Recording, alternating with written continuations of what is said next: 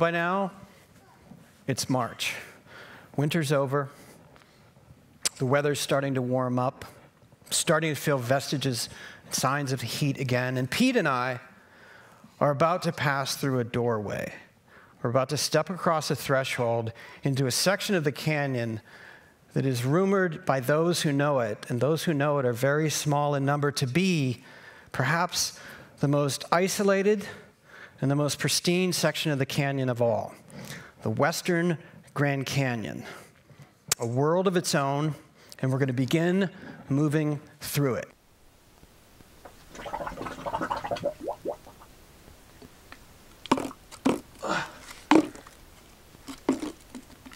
Stay.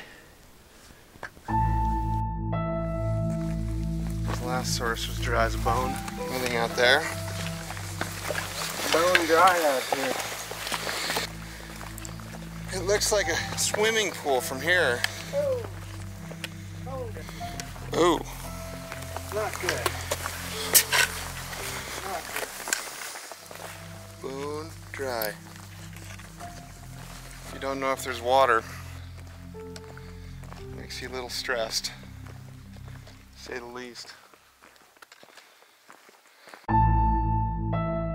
When we started this walk across Grand Canyon, some 500 miles to the east of here, a friend told us we'd learn the difference between what we want and what we need. As Kevin and I marched into western Grand Canyon, it felt like we passed through a secret passageway into what some describe as the Godscape, a place very few visit. Day 45 of walking. No precipitation in sight, even though it's mid-February. And we are back in full desert.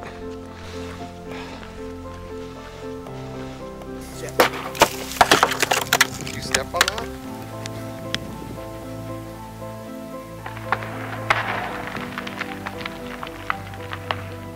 Western Grand Canyon is incredibly remote and immense, and then some. And water is extremely scarce. That scarcity reminded us daily that the park and all the development projects surrounding its landscape share this major, often overlooked obstacle limited water. Finding water when you're far from the river, sometimes 3,000 feet above it, isn't easy. So we depended on very thin, very unpredictable potholes of rainwater. It's pretty nice. And we have two syringes with us this time. That's like a swimming pool. Just don't fall in there because there's no bottom in that thing I, that I can see. Four, let's have four liters in it. They were the key to our survival. The water challenge is a day by day thing. Every morning, we start the search anew. Constantly amazed by the liquid silence that seems to blanket us down here.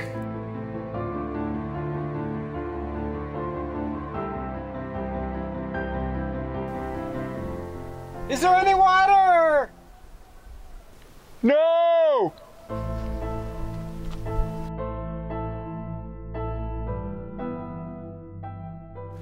You're right? You have a clean pair of underwear? now, not the time right now to be joking around.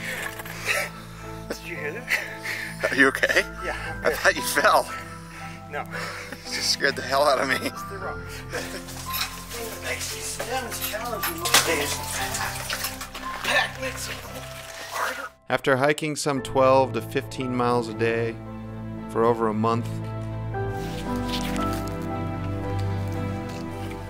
and some days hiking over 20 miles to reach water, let's just say it wore us down. What's up with your feet? They really hurt. My body's falling apart. I feel like I'm in a Swedish sauna.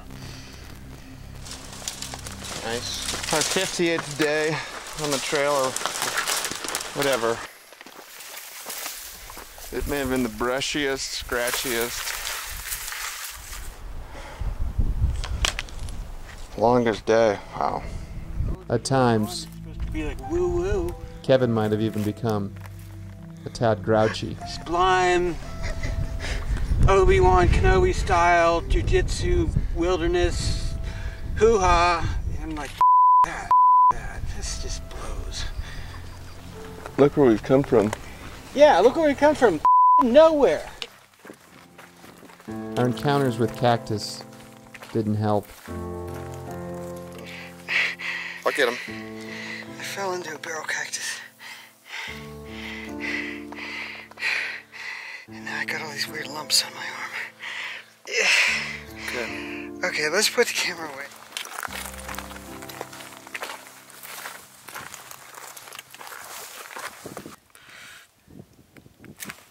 Whew, they hurt. Oh, God.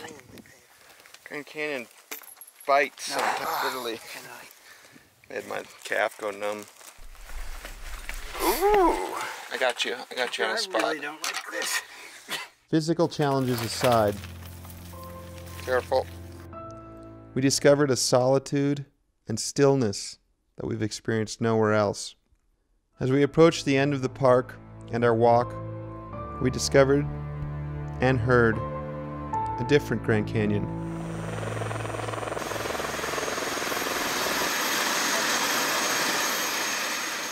A tourist boom has followed the success of the recent Skywalk development on the Hualapai Reservation on the southwest corner of the park. Over a decade ago, the FAA granted the approval to fly and land helicopters below the rim. What is now called Helicopter Alley, located on the border of the national park. It is now one of the busiest heliports in the world. this wave of industrialized high volume tourism come into the national park. Uh, the acceleration of this kind of activity has been incredible. economic enterprise of these tribal nations is important for them.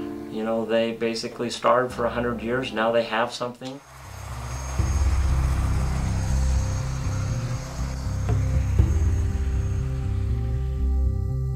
the helicopters are a mess. You know, there's there's just constant air traffic, and uh, it affects the wildlife. You know, we're a hunting tribe.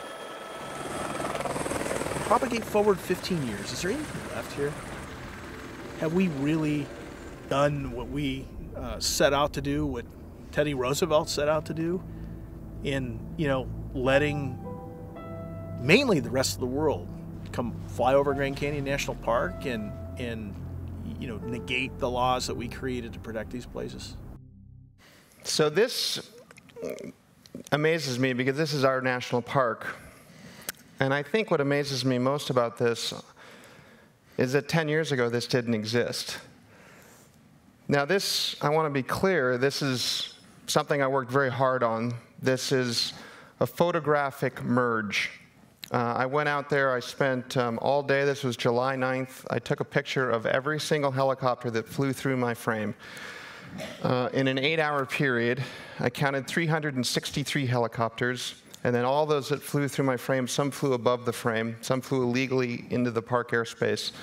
Um, but I stitched them together just to show what the impact is of a day's worth of traffic inside Grand Canyon in a place that didn't exist. And they're landing on the Hualapai Reservation, and Hualapai deserve to have viability, of course. But uh, it's raising the question on, we just want to raise the questions on how do we find that balance between what's too much and, and not enough. Uh, I was curious about how this works. What's the experience like? I actually went to Las Vegas. The proximity to Las Vegas is driving a lot of this. It's a half hour flight. They'll pick you up in your hotel with a limo. Uh, you do a 10 minute limo ride to the airport. You do a 22 minute ride out to the Grand Canyon. You come have a, a small bottle of champagne and a yogurt. And um, by the time when I was there, it was a crowded day. Um, there were 16 helicopters parked around me. When I was trying to have my yogurt, four helicopters flew over my head and blew me with yogurt. um, then we were raced back into the helicopter, 28 minute flight back, um, limo back to the hotel, and I was ready to have brunch and check my Grand Canyon box uh, that I had done it um, by 11:30 in the morning. Now I understand access. I understand some people don't live near Grand Canyon, and I understand that nobody's going to be dumb enough to do a walk like Kevin and I did. But it is remarkable to me to think like how we look at wilderness, and that's what I'm. We're trying to raise the question: How do we appreciate these places? Um, and this may not be the way to appreciate its its great asset, like like silence and, and humility. Yeah, and it's hard really to sort of um, express in words um, the violence of the contrast between the noise that's generated by these machines and the tranquility of the landscape itself uh, as you move through this section of the park. And I just want to take a moment to say, as a writer, um, you know, what a privilege it is to work with a photographer who's capable of, of capturing an image like the one that just preceded this one. I, I think it's such an amazing thing to somehow be able to layer in information so densely um, that you can communicate it in a single instant what might take me pages upon pages um, to, to relay. Now, that contrast is really harsh as you move across um, the westernmost section of the Grand Canyon. Uh, and the thing about the canyon, too, is that you'd think that the further out you'd get and the closer to the end you get, you know, that it might begin to kind of let you down easily, but that's definitely not the case. Um, I never knew that uh, it was possible for cactuses to grow in the form of forests, but they do. Um, it's very difficult and unpleasant to move through this sort of thing. It's also challenging out there in the West to realize, you know, how much up and down, uh, descending and ascending is demanded of you tens of thousands of feet each and every day. Um, you need to climb and then descend in order to keep moving laterally, downstream, down canyon. The need, too, to perform uh, level of rock climbing that I'm really not capable of, technical moves that lie far beyond my ability and exist outside of my comfort zone. And then for whatever reason, we also found that, I mean, we're seeing more and more animals on this westernmost section of the Grand Canyon. Unpleasant animals, animals that I was not super into, I have to say. Sorry. Yeah, they, they there are some there are some critters that like to bite down there. Uh, but we, you know, generally leave them alone.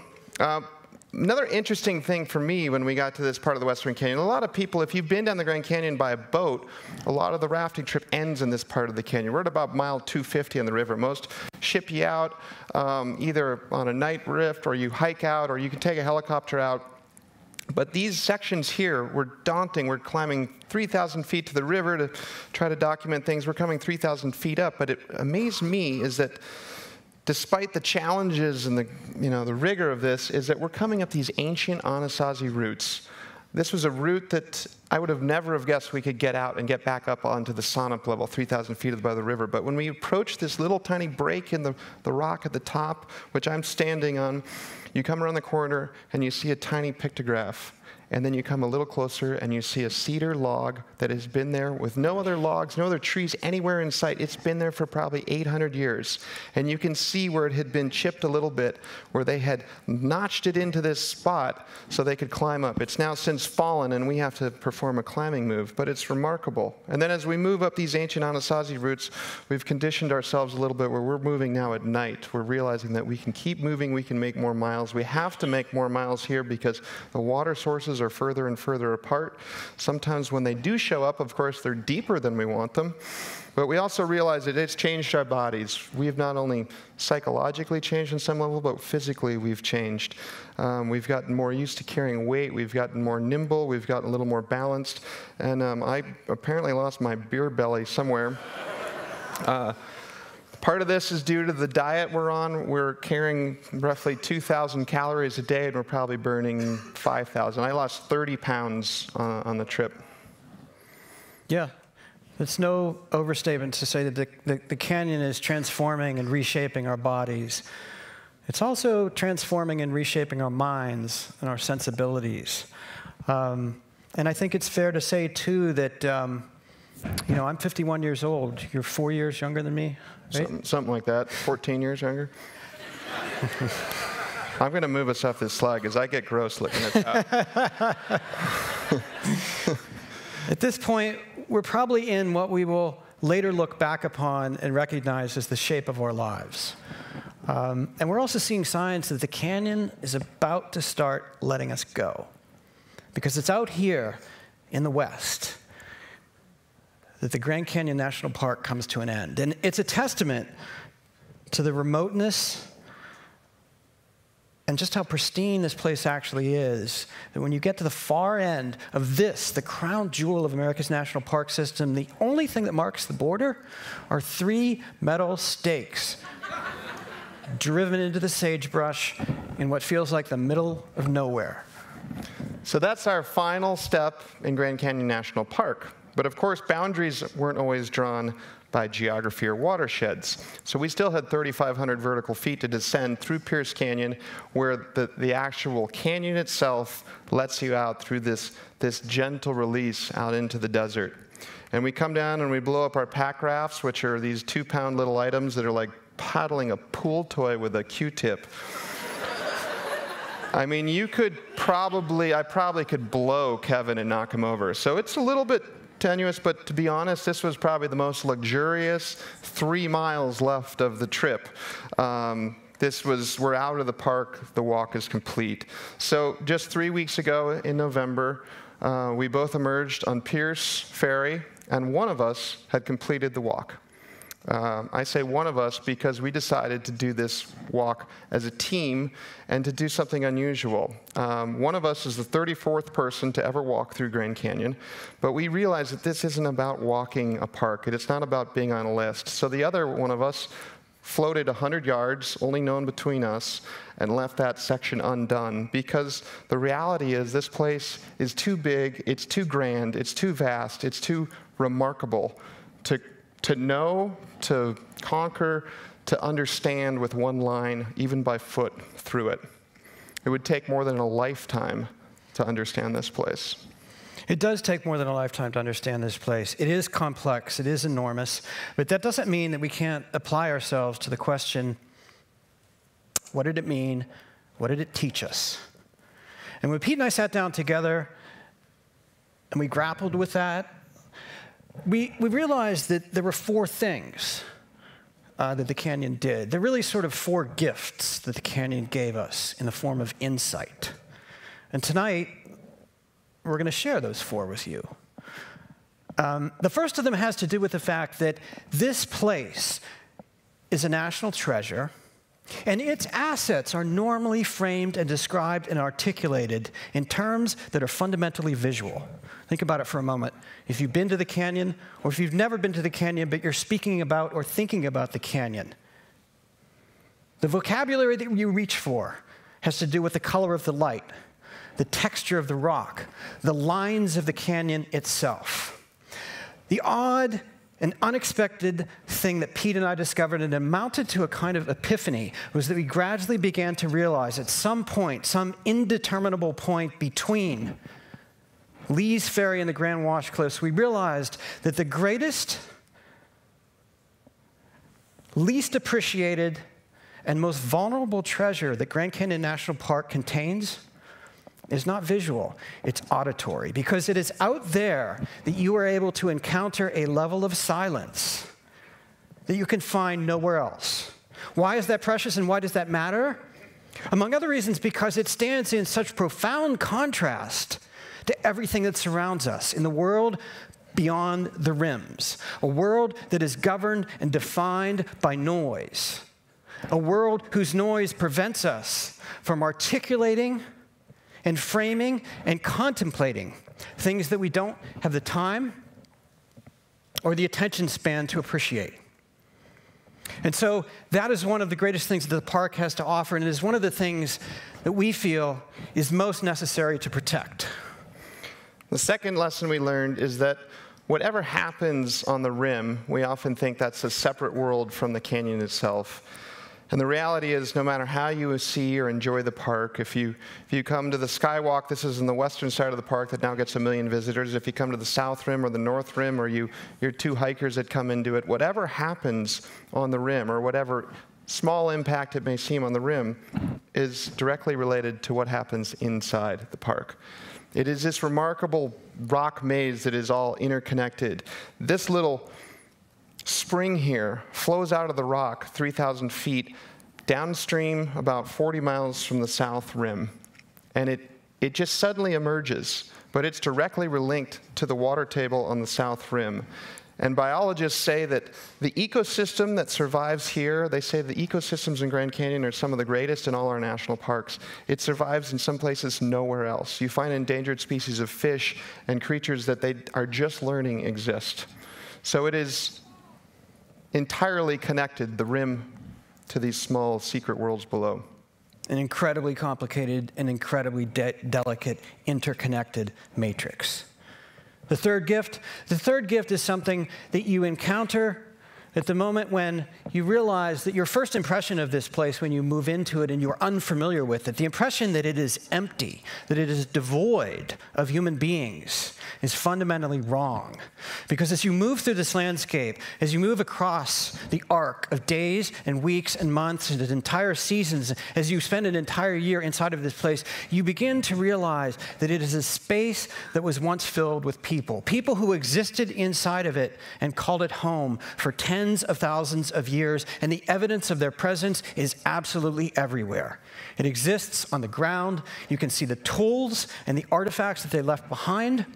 You can see the places that they lived the homes that they dwelt inside, and at very special and very secret locations that you were privileged to encounter only if you were very, very lucky. You may see on the rock itself, imprinted on the rock itself, a vision that these people created which suggests something about how they understood their position in the universe itself.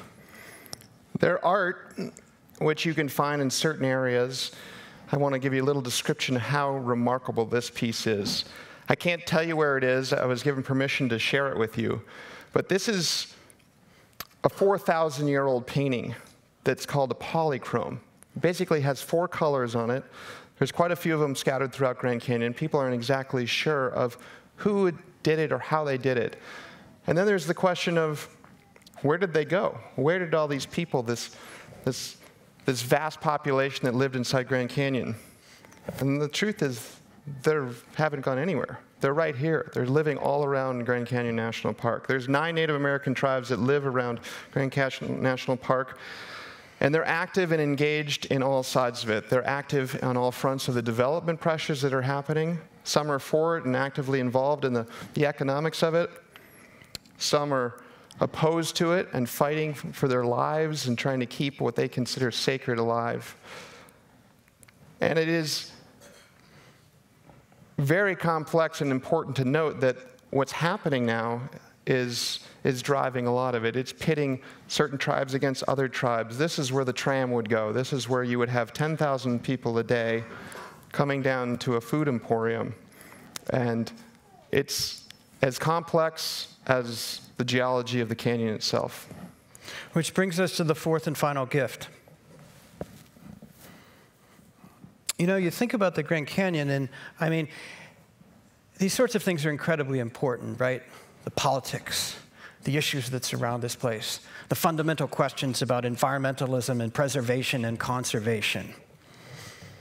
But ultimately, you come up against an idea that's very, very different, which is that, uh, it, and it's really not an idea as much as a possibility, it's the possibility expressed in the notion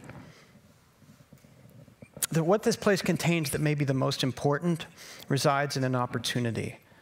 It's an opportunity that we have when we move into these landscapes.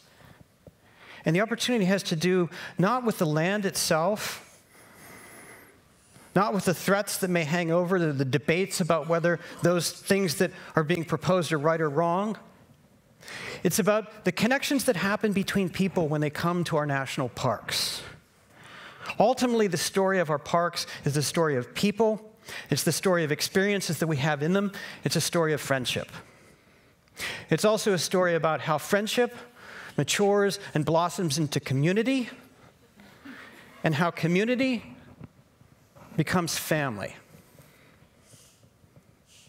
And when you try to wrap your head around all of those things, the connectivity, the idea that, the whole, that, that, that uh, uh, silence may be the most important treasure of all, um, the notion that, that, that, the connections between human beings um, may express themselves and come to matter more than the land itself, you, you find yourself coming up against an idea that the park is greater than the sum of its parts. And I think that's an idea that, that Pete has really sort of brought to the fore beautifully in the final video that we'd like to share with you tonight. When we started this walk, we had no idea what we'd gotten into, nor how hard this undertaking would be. Our 60 day, over 650 mile hiking immersion was not about being on a list. It was about understanding a shared resource crown jewel of our national park system. While it was a journey to find a line through one of the seven natural wonders of the world, between the river and the rim, it was also a quest to understand what might change or be lost in this rock cathedral if we don't find a balance between growing development pressures, resource extraction, and the sublime beauty that defines this iconic landscape. And how we decide to use and experience our last wild places will dictate what the future of this place looks like. The story that we've spent the last year of our lives working on comes down to a single question. That question is this How do we view this space? How do we view it as citizens? How do we view it as Americans? Do we view it as a place that is sacrosanct and holy and inviolable? Or do we view it as a theater for our own amusement? A place that titillates us, it provides us with recreation and enjoyment. And Pete and I are not proposing that we have an answer to that question to you tonight. We're merely placing the question in front of all of you for your consideration. But we will say one thing there's a lot of places in the United States that look like this. You want to know how many of them there are? There are a lot of amusement parks in this country. And one thing we have learned after sweating, bleeding, crying, whining, and crawling through the Grand Canyon is there's only one place that looks like the seventh natural wonder of the world. So thank you very much for coming out tonight. Thank you.